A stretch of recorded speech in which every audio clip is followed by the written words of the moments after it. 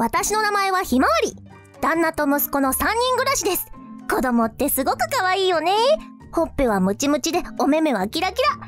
元気いっぱい遊んでいつも笑って、たまには大泣きして、そんな息子の太陽が可愛くてしょうがないんだ。そんな話を友達のよりこさんと話してたんだけど、出産にまつわるトラブルに巻き込まれちゃったみたい。何もしない女は家を出て行けって言われちゃった。私これでも頑張ってたのにな。何があったんですか？ちょっとだけ私の愚痴聞いてくれる？もちろんです。私の義理の妹にニナちゃんがいるでしょ？旅行が大好きで最近も旅行に行ってたんですよね。帰ってきたんですか？そう。旅行の後も仕事で旦那さんの出張について行ったりしててあちこち行ってたんだけど仕事も落ち着いたみたいでこっちに帰ってきたの。そうだったんですね。そしたらいきなり家を出て行けって言われてあ家って言っても私の家じゃなくて義実家のお母さんの家ね。今って確か義理のお母さんと一緒に暮らしているんですよね。そうなの。お父さんが1年前に病気で亡くなってそれからちょっといろいろあってね。ここ1ヶ月ぐらい一緒に生活してたんだけど。その義実家から出て行けって言われたってことですね。うん。ちょっと私も話を聞いてみます。え？久しぶりに帰ってきてるってことなので挨拶も兼ねてそれじゃあちょっと行ってきますね。だ大丈夫かな？ひまわりとニナの LINE お久しぶりです。仕事落ち着いて帰ってきてたんですね。旅行も楽しかったですか？旅行めちゃくちゃ楽しかったよ。またすぐ行きたいくらい。旦那の仕事についていくのも旅行気分で楽しいし最高。あっちこっち飛び回ってる方が性に合ってるんだよね。旦那さん結構忙しそうですもんねそうなの。私はそれについていくのが楽しいんだけどね。一旦仕事が落ち着いたみたいだからしばらくは実家に帰ることになったんだ。じゃあもしかしたら食事とか行けますか？行きたいんだけどごめんね。実は私妊娠しちゃってあちこち行けないんだよ。え？そうだったんですね。おめでとうございます。なるほど。それで実家でゆっくりって話なんですねそうそう。それなのにより子さんが家にいるからびっくりした。まさかお金ないからって人様の家に上がり込むとは思わなかった。え？なんかパッとしない人だとは思ってたんだけどお金がないからって普通さ義実家に居座る？居座っているわけではなくて頼まれてるんじゃなかったですっけ？え？確かお母さんの体調が悪いから在宅勤務のより子さんが面倒を見てほしいみたいな話で確かになんか体調悪いとか連絡来てたかも。私は忙しいから面倒見れないって断ったんだけど。なるほどね。それで実家に来てたってわけか。そうみたいですよ。仕事との両立は大変だって言ってました。家のことなんて何もしてないのよそれが。そうなんですか？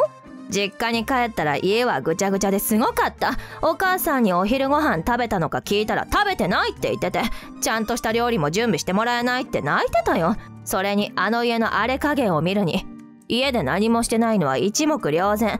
几帳面なより子さんにしては珍しいですね。体調が悪かったとかですかね。お母さんに聞いたけど全然ダメなんだって。何もしないくせにお母さんには文句ばっかり。人がいないところではつねったりしてるみたいだよ。え？そんなことするなんて考えられないんですけど。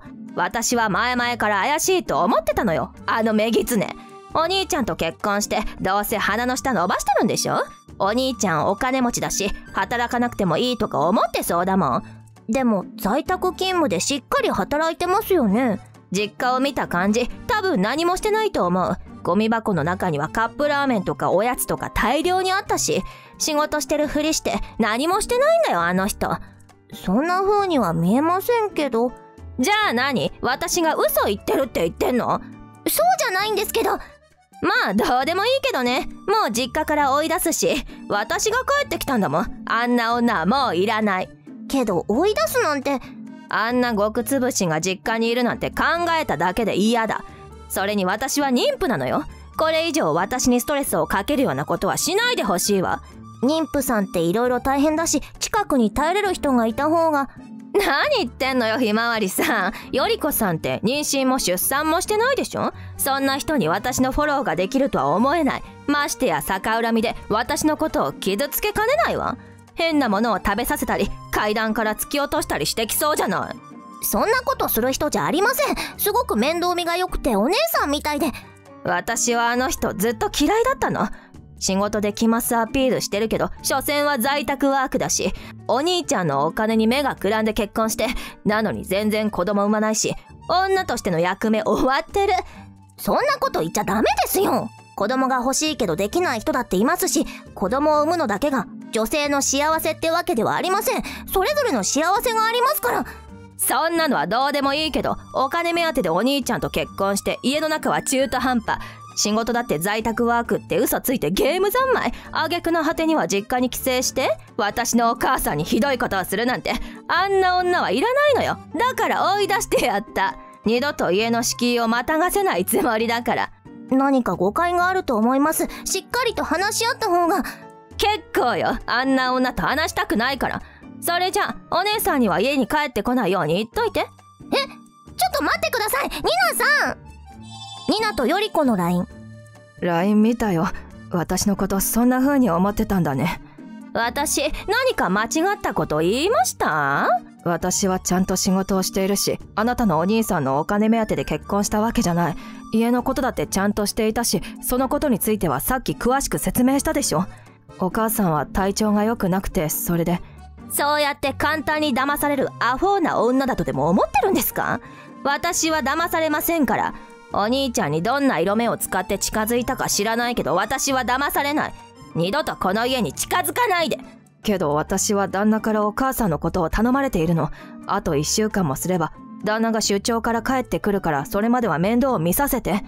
お母さんの面倒なら私が見るから心配しないで。っていうか、子供が生まれてからお母さんに面倒見てもらう予定だし。お母さんは今、精神が安定していないの。そんな状態で孫の面倒が見れるとは思えない。私のお母さんをバカにしないでこんな時だけお母さんお母さんって、私たち夫婦は何度も連絡したはずよ。お母さんの症状や病気について。それなのに仕事や旅行が忙しいって全然電話にも出てくれなくて。だからこうして帰ってきてあげたんでしょ？私は出産に備えて実家に帰ってきたの。それを邪魔するつもり？邪魔じゃなくて、あなたとお母さんのために言っているの。旦那は仕事が忙しくて実家には帰ってこれないけど、私も出産して子供が落ち着いたらまた旦那と一緒に転勤族になる予定だから。お子さんも引っ越しさせるの？そうだね。私たち今の生活が気に入ってるから。って、そんな話はどうでもよくて、家には来ないで。あと一週間、あなたのお兄さんが帰ってくるまでは私が面倒を。しつこいあんたの荷物は全部お兄ちゃんの家に送ったからちなみにいらないやつは半分ぐらい燃えるゴミに出しました。なんでそんなこと。ここはあんたの家じゃないから捨てておいた。これ以上私たち家族の家に来ないで。在宅ワークなんて嘘をつく寄生虫技師なんてお呼びじゃないのよ。わかりました。泣きついてきても知りませんから。え？さようなら。1週間後。ひまわりとニナの LINE ひひまわりさん？どうしたんですか？お姉さんに連絡が通じないから LINE を見るように言ってくれる？今日は一緒に食事をする予定で、あともう少しで合流しますけど。やばいやばい。今すぐ実家に帰ってくるように伝えてほしくて。え？家から追い出したんじゃなかったんですか？極つぶしがどうのとか言って荷物を全部捨てたって聞きましたけど。それが大変なことになったから帰ってきてほしいの。お姉さんに今すぐ実家に帰ってくるように伝えてほしくて。今ちょうどお姉さんと合流したので事情を聞いてみますね。お願い。えー、そんな大変なことになってたんですね？お姉さんはなんて家に帰ってきてくれるって？お兄ちゃんももう帰ってきてるんでしょ？早く二人とも帰ってきて。実家にはもう行かないそうです。え？お母さんのご病気のこと聞きましたか？詳しくは知らないけど最近すごいの。ヒステリックっていうかやばくて。ご飯を作っても食べてくれなくて。全部ゴミ箱に捨てたり。さっきご飯食べたのに食べてないって言って暴れ出したり。勝手にカップ麺とかおやつとかを買ってきてそれを食べてるの。若年性認知症みたいですね。え？何それ？聞いたことありませんか？認知症が若くから発症するんです。名前はさすがに聞いたことあるけどお母さんまだそんな年じゃないでしょ普通は70歳とか80歳とかじゃないの？若いと40歳50歳で発症することもあるんですよ。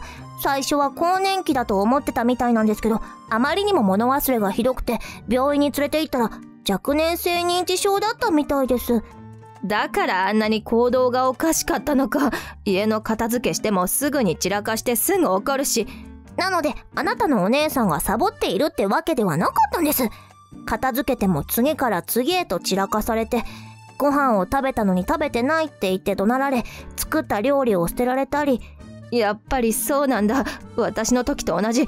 なんでこんな状態なのに教えてくれなかったの？知っていたら私実家には帰らなかった。何度も伝えていたのに LINE を既読無視したり電話に出なかったそうじゃないですか。あだってそれは仕事が忙しくてそれに旅行もこんなにひどい症状だなんて知らなかったの。こんな状態のお母さんと一緒に暮らしていけないよ。だから私家を出ていく。代わりにお姉さんに面倒を見るように言っておいて。お姉さんはもう義実家には帰らないそうです。はあ？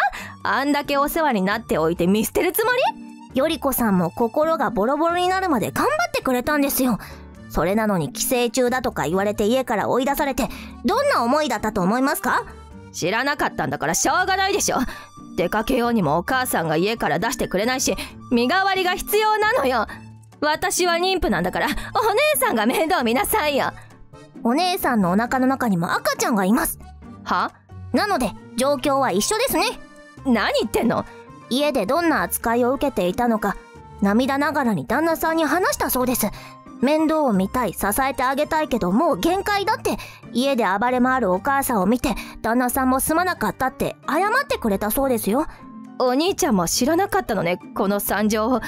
心配させないように大丈夫って伝えてたみたいで。でももう限界が来て。私だって限界よ。こんな家にいたら気が狂うわ。私も家を出ていく。だから代わりに面倒見てほしいの。お姉さんはしっかりしてるからいいじゃない。私は無理それで言うなら自分の実の母親じゃないですか。もっと支えてあげたいとか思わないんですか？無理なものは無理なの。私は妊婦なのよ。それはお姉さんも一緒ですよ。それにあなた浮気してるみたいじゃないですか。え？あなたの旦那さんが病院に行ったんです。旦那が病院？なんで？実は前の彼女さんと付き合ってる時に子供ができないっていうのが理由で破局したらしくて。それが何？その元カノさんと付き合っている時に検査したみたいですよ。検査？その時に検査して子供が作れないっていうのが判明して。ちょっと待ってそれはどっちの原因？元カノさんの方よね？違います。あなたの旦那さんの方です。なので今回あなたが妊娠したと聞いて病院にもう一度行ったみたいです。嘘嘘嘘嘘嘘。結果は変わらなかったそうですよ。どういうことですか？違うの違うの。私浮気してないの。それどころか妊娠も。え？妊娠嘘だったんですか？旦那が他の女に目移りするのが怖くて子供作ろうって言ったの。喜んでくれると思ったら微妙な反応したから絶対浮気してると思って。だから子供がいるって嘘ついて捨てられないように。そんなすぐにバレる嘘をどうして？適当に階段で転んだとか言えばいいかと思ったの。旦那の気持ちが離れていくのが怖かったから。それでそんな最低なことをしたんですか？人の気持ちを試すようなことを。どうしよう。旦那に浮気してるって勘違いされちゃった。自分でまいた種です。どうしよう。やばいって。それにお母さんのことも全部自業自得じゃないですか。妊娠したって嘘をついたのはニナさん。頑張ってお母さんを支えていたより子さんを追い出したのもニナさん。そのせいで家から逃げられなくなったのもニナさんのせいです。そんなこと言わずに助けてよ。本当にもう限界なの。巻き込んでしまってごめんなさいひまわりさん。お姉さんひどいこと言って悪かったわ。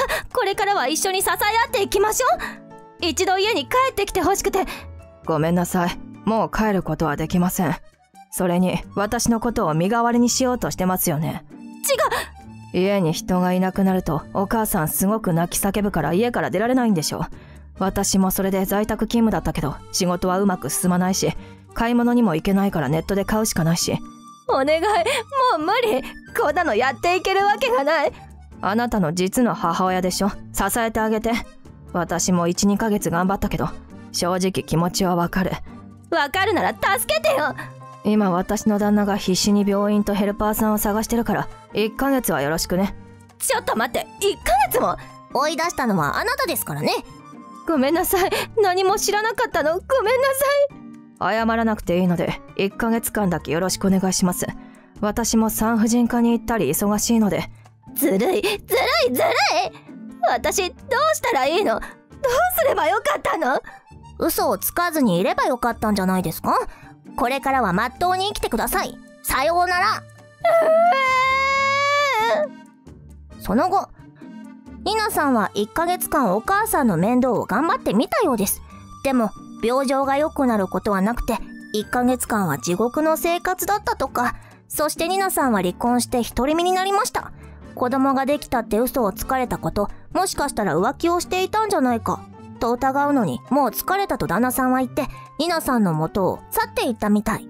ニナさんは介護疲れで激痩せをして住む場所もなく一人でどこかに消えていってしまって今はどこかで嘘をつくことなく正直に生きてるといいな。よりこさんは順調にお腹の赤ちゃんを育ててます。旦那さんの手厚いサポートのもとすごく幸せそう。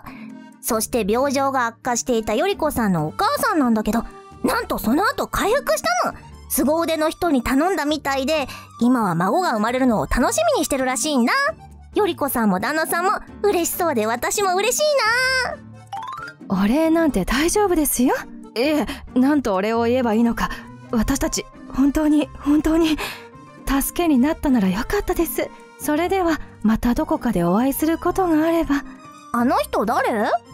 あの人がヘルパーさん。臨時のヘルパーさんでいつもはいないみたいなんだけどあの人のおかげでお母さんの病状がすごく良くなったの。ええー、挨拶したかったな。どこかでまた会えるかな。私の名前は吉野とにかく食べるのが大好きな27歳の派遣社員です。私は短期メインの派遣会社に登録していていろいろな社員食堂や近隣のランチを楽しむのが好き。今働いているのはネット通販の会社この時期は新卒社員さんたちがたくさん入ってくるのですが一人なかなかの大物がいた。私退職するんで退職でお願いします。これで退職願になるっしょ。いいよね。ああもうだるい。やっぱり就職なんかするんじゃなかった？派遣私の給料と退職金ちゃんと処理しておけよ。ココナさんこれ何？私会社辞めることにしたの。つまらないし。それを私に言われても困る。はああんた派遣なんでしょ？正社員様の言うことを聞くのが仕事でしょうが。ちゃんとやっておけって言ってんの。そんなこともわからないの。ありえねえ。ココナさんは会社を辞めるのですか？だからそう言ってるでしょ。私考えたんだよね。やっぱりもっといい会社に行くべきだって。いい会社。この会社なんかつまらないし地味だし。私実は結構優秀でさ。正直この会社じゃもったいないかなって。やっぱり高級ブランドとかそっちで働くつもり。仕事はそんなに簡単じゃないですよ。あここのおやきうまお昼に野沢菜入りのおやきが食べられるなんて最高すぎます。やっぱり信州料理のお店最高。そばもめちゃくちゃ美味しい。ちょっと。わかった。退職金300万はちょうだいね。まったく。派遣おばさんってきつい。というかなぜ派遣の私に退職の LINE を送ってくるのか意味不明。ははおやき。あつつつつここういうのは上司とか人事の人間に相談するもの。でもめんどくさいじゃん。私に LINE が送れるなら上司にだって送れるはず。それに退職をするならちゃんと手順を踏まないといけない。あつつつついやおやきほっかほかで美味しい。じゃあそれお前がやっておいて。お前？お前だよお前。もしかしてココナさん退職の相談ができない？仕事ができなくて退職したいけど人事に相談するのが恥ずかしいとか？は？あだからとりあえず連絡しやすい私に連絡してきたとか？これは名探偵爆誕。うるせえよ！うーん。ほっかほかのおやき最高でした。これは現地に食べに行かないといけないです。それにしても野沢菜ってこんなに美味しいのですか？これなら毎日食べても飽きない。野沢菜を使った料理をたくさん食べたいので、今度新州旅行も計画しないとです。さて、ココナさんですが困った新人さん。派遣の私に LINE で退職の意思を伝えたところでどうにもならないのですが、3日後、ちょっとどういうこと？まだ退職金が振り込まれてないんだけど。あんたちゃんと振り込んだの？いろいろ突っ込みどころが満載。退職の手続きは自分でするもの。はあ？ふざけないでよ！私は能力があるからもっといい会社に就職するの。このゴミ会社は退職するから退職金500万とっとと払え！50億の大きな損害出して逃げるんですか？え？なんだ。ココナさんも可愛いところがある。プレッシャーに耐えきれずに逃げちゃうなんて。何言ってるの？違う。私は失敗なんかしてない。私は優秀なんだから。違う。他の人間とは違うの。失敗してない。やだ違う。ママママ助けて。ちなみに私はママではない。そんなの分かってる。ちなみにちなみに損害なんて出てない。えどういうこと？そもそもココナさんは研修中。大きな損害が出るような仕事させるわけがない。えでも。発注に使っているツールの練習してましたよね。そうそれで木の棒を50億発注しちゃって。そんなもの取引先も扱ってない。どういうこと？あれ本物のツールじゃなくてゲームみたいなもの。ほら株取引もシミュレーションって言って仮想取引ができるものがあるそれと同じようなもの。だからあえて木の棒乾いたスライムお父さんの靴下みたいな変な商品しか入れてない。あれ商品じゃないの？お父さんの靴下をどこで売るんですか？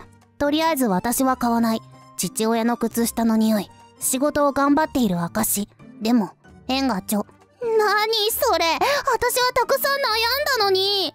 そもそも仕入れをしたりするときは数人がチェックする。本番のツールでもこんなことは起こらない。私ちなみにココナさんが退職したいって言ってるってことは上司に伝えておいた。今は無断欠勤になってる。仕事を続けたいなら早く連絡した方がいい。はなんでそんなことするの？コロコロ変わりすぎて疲れる。これは積極的にカロリーを入れなければ。今日はサクサク熱々アップルパイを買いに行きます。引き続き信州がマイブームの私信州のリンゴを使ったアップルパイも絶対に美味しいはず。ねえ私仕事続けるから。だからなんで私に言うんですか？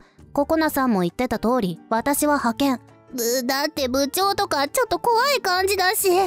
そんなことないですよ。部長は食べっ子動物が好き。ほらかわいい。可愛くないから。ねえ部長怒ってるよね。怒ってるのかもしれないけど呆れてる。さすがにこんな理由で無断欠勤されるのは初めてだって。そんなの。研修担当がちゃんと説明しないのが悪いでしょ。研修担当はちゃんと説明していた。話を聞いていなかったココナさんが悪い。だってだってママ。だから私はココナさんのママではない。そんなココナさん翌日ママを連れて会社にやってきた。ママと一緒に上司に謝罪したらしい。ココナさんは気づいていなかったかもしれないけどオフィスの方にもココナさんの泣き声が聞こえまくっていた。あらあらココナちゃん大丈夫よ。おほほほほ。みたいなママらしき人の声も聞こえていてみんなひそひそ。そもそも無断欠勤をした理由も理由なので復帰した後もみんなからは白い目で見られるようになってしまった。3日後ちょっと吉野さん何なの？私今日もすっごく怒られたんだけど。派遣さんがいないと会社は大変なことになる。ちゃんと敬意を持って接しろって。そりゃ派遣のくせになんて言われたら会社に報告されるのは当たり前。というか私は今忙しいのでまた今度にしてほしい。あれからずっとおやきにはまって今日は特大おやきを食べに来ている。熱々ほかほか。どこかあったかな味で大好き。うん。ねえ吉野さんにしっかり謝れって言われたんだけどそんなことよりそんなことよりああの会社にいたらみんなが私のことを見てくるの？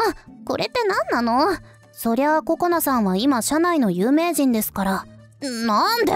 研修用の練習ツールで50億の損害を出したと思って無断欠勤してママと一緒に謝りに来て大号泣。ついでにそんな状況なのに派遣に威張り散らしていた。そりゃ噂にもなるしひそひそにもなるし熱々にもなる。ほかほかのうまうまになるしズルズルになって。それなんか食べ物になってない？はっ 恥ずかしいです。あのさすがに働きにくいというかさそのそうなるようにしたのはココナさん。だってどこに行ってもひそひそされるし。そりゃ練習用のツールで50億の損害を出したって勘違いしてそれで怖くなっちゃって派遣にギャーギャー言って辞める宣言する新人。正直面白すぎて目の前にいたら見てしまうというもの。それにしても面白すぎます。笑わないでよ。だってだって。別に今からでも辞めればいいのでは。ココナさんは自分には実力がある。もっといい会社に行きたいと言っていた。それはだから損害を出してしまったって思ったからで私は悪くなかったのに。確かに損害は出していなかったけど私や他の派遣たちにも暴言を吐いていた。それはダメダメ。わかった。だから謝るから。ねえ吉野さん明日から一緒に出社しようよ。何言ってるんですか？私の派遣契約は今日で終了。明日からは違う場所で働きます。え？なんで？吉野さんクビになったの？だって認めたくないけどさ吉野さんめちゃくちゃ仕事できるじゃん。他の人が10やってる間に100やってるでしょ？たくさん仕事を頑張ればたくさんお腹がすく。たくさんお腹がすくと美味しいご飯がもっと美味しくなる。それが私にとっての幸せなのです。ちなみにクビではなくてもともと短期契約。私はいろいろな会社に行ってそこの社員食堂で食べたり近くで美味しいランチのお店を探すのが好き。全部食べ物じゃんねえ吉野さん戻ってきてよなんだかんだ吉野さんは話しやすいんだってば派遣契約は終わりだと伝えました私は次美味しい社員食堂があると有名な会社に行くな、な、な、な、なんと、このご時世にサラダが食べ放題。しかもトッピングのコーンとかクルトンとか、おまけに日によってはスモークサーモンまであるらしい。はあ、たまらない、たまらないのです。それってかなりすごい会社なんじゃないの？超大手ですね。さすがです。えー、吉野さんすごい優秀なんだよ、やっぱりさ。だから私のこと守ってよ。私ちゃんと会社に戻ったのにみんなにヒソヒソされてもう限界なんだから甘えんじゃねえですあまあまあだからママじゃないってばその後結局ココナさんはヒソヒソに耐えられず辞めて実家に帰っていった。しかし地元でも噂が広がってしまいココナさんを怒るお父さんとかばうお母さんで毎日大喧嘩。結局ご両親は離婚しココナさんとお母さんは2人暮らしを始めることに。しかし2人とも仕事が続かずかなり厳しいみたいです。それにしても50億の損害を出したと思って逃げるとは偉そうだけどなんだかんだ可愛いですね。